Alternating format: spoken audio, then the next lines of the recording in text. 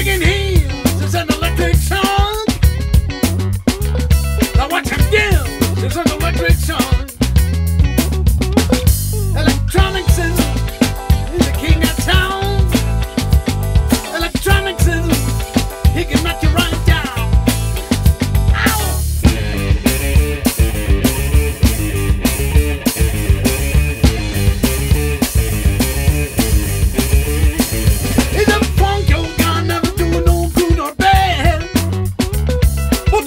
These always make me feel alright.